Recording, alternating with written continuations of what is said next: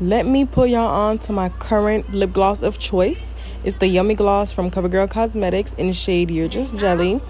I also tried the online trial, and let me just say, it does not look the same online at all. But if you want some nice juicy lips with a lasting lip gloss, go get you some, okay?